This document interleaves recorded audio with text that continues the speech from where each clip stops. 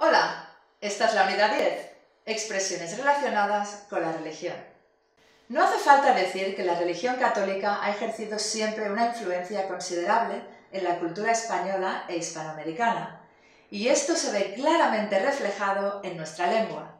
Las expresiones religiosas nacen desde textos escritos, como la Biblia, por ejemplo, hasta la misma sociedad, cuando se encuentra en situaciones alarmantes exclamando la divinidad de Dios. Y estoy segura de que has escuchado expresiones tales como Dios mío, Dios te lo pague, Madre de Dios bendito, por el amor de Dios, Dios aprieta pero no ahorca, y muchas más. Está claro que hay una gran influencia de la religión en nuestra cultura, y la historia nos brinda la posibilidad de mantener esas expresiones religiosas de antaño en la sociedad actual.